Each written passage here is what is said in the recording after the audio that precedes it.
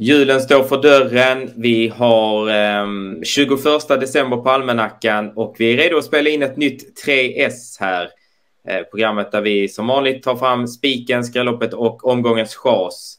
Med mig idag för att reda ut vilka vi har valt ut som de här, under de här rubrikerna är min vän och kollega Erik Törnros. Eh, hur är julstämningen hemma hos dig? Eh, julstämningen är bra, eh, laddad inför eh, travets alla dagar. Eh, Uppesittarkvällen är en eh, favorit, men eh, pers på personligt plan så ser jag väldigt mycket fram emot juldagen också, då det är istrav som jag brinner starkt för. Men nu ska vi ta V75 från Mantorp först och ja, det är dags att fylla på kassan här inför, efter alla julklapparna. Så jag är taggad. Precis, du kan behöva lite pengar till istravet som är din mm. personliga favorit. Um, ingen jackpot. Det blir ju uh, vad heter det, ingen utdelning uh, på fem rätt i lördags. Men de jackpotpengarna flyttas vidare till nyårsafton. Så man tänker på det. Inga extra pengar här. Men uh, det finns ju alltid bra ett par miljoner att spela om. Så att man ska inte nonchalera V75 för det. Um, ska vi köra igång här? Absolut. Då gör vi det. Vi börjar som vanligt med rubriken Spiken. Spiken, vilken häst måste infria våra förväntningar för att vi ska ha chans på 7 rätt? Mm, då går vi till högsta klassen, alltså V75 3 och vi tycker att nummer 6, Dark Roadster, har en väldigt lämplig uppgift. Eh, i, och som jag sa där, i högsta klassen, men eh, det ser inte ut att vara en av de tuffaste gulddivisionsförsöken det här. Det är många eh, hästar som kommer med dunkel form, men han är en av få som har visat att formen är helt på topp. Eh, vi ser bilderna här på honom senast när han spurtade in väldigt bra som trea i ett lopp som Hion Pepper vann. Och det var ju över full väg och innan dess hade han tagit fyra raka segrar över kort distans som han är ute över nu. Så att vi tror att det ska vara god chans i spets och slut för nummer sex, Dark Roads i V753.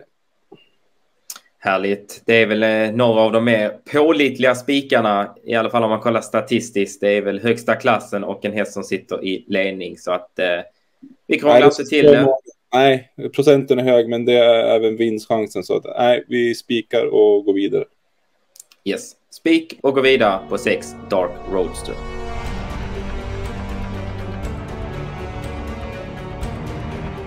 Från spiken ska vi till skrälloppet och eh, från högsta klassen går vi ner till lägsta klassen, nämligen klass 2 och V75 5. Hur tänker vi här, Erik?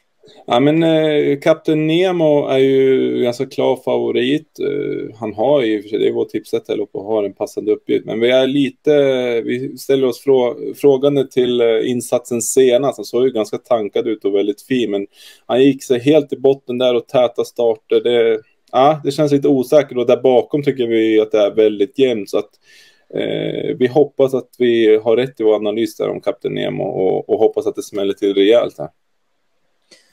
Kapten Nemo tipsetta som sagt och favorit där bakom vår tips tvåa, sju Ulla Rolls. Eh, sen är det ju bara singelprocentare. Vi ska väl bjuda på någon som sticker ut lite extra. Vem har vi valt ut?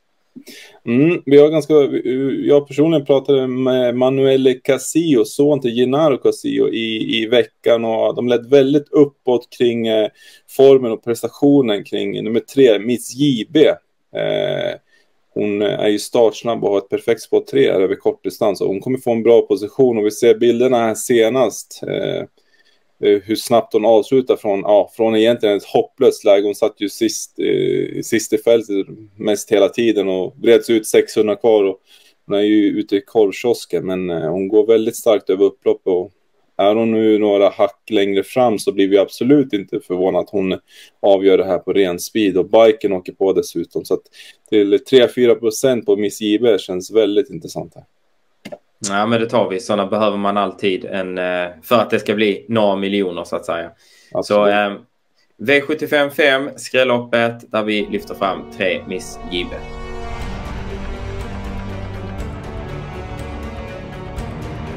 Då är vi framme vid sista rubriken. Det är omgångens chas och eh, ja, vem, vi, vem har vi valt ut under den här rubriken?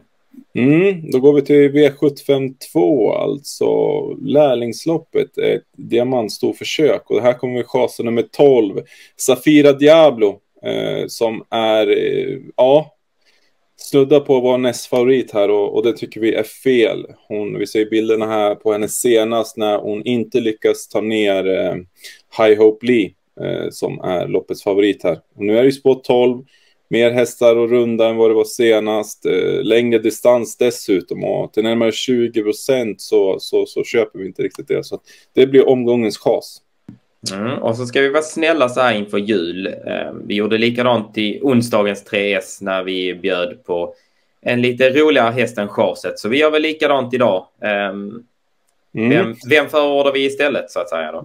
Nej, men vi, vi tycker att nummer 10, Lille Vant, är eh, klart undervärderad i, i nuläget till runt 6-7 procent. Eh, hon gick ju klart bra som trea senast, men man hörde där mellan raderna att det var det här som var det stora fokuset här. Och som vi nämnde där innan att det är lärlingslopp, men Tom Johansson har ju kört henne förr med bravur. Har alltså två segrar av två möjliga här. Och, ja, spå 10 kanske kan bli lite tempo där framme. Eh, hon är ganska OM också och tål att göra en hel del själv. Så att hästmässigt dessutom så tycker vi att hon är en av de bättre fältet. Så till den här låga procenten så säger vi pass upp.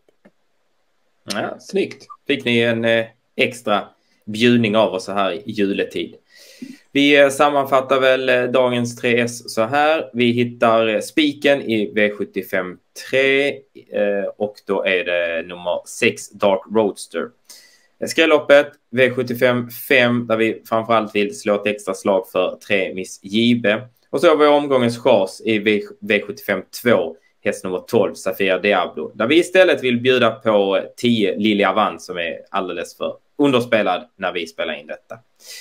God jul eh, och eh, lycka till alla här nu inför eh, uppesittarkvällen. Vi kör live-rapportering som vanligt inför tävlingarna så har ni inget annat bättre för er så klicka in på travandenspel.se så får ni ta del av senaste nytt fram till spelstart.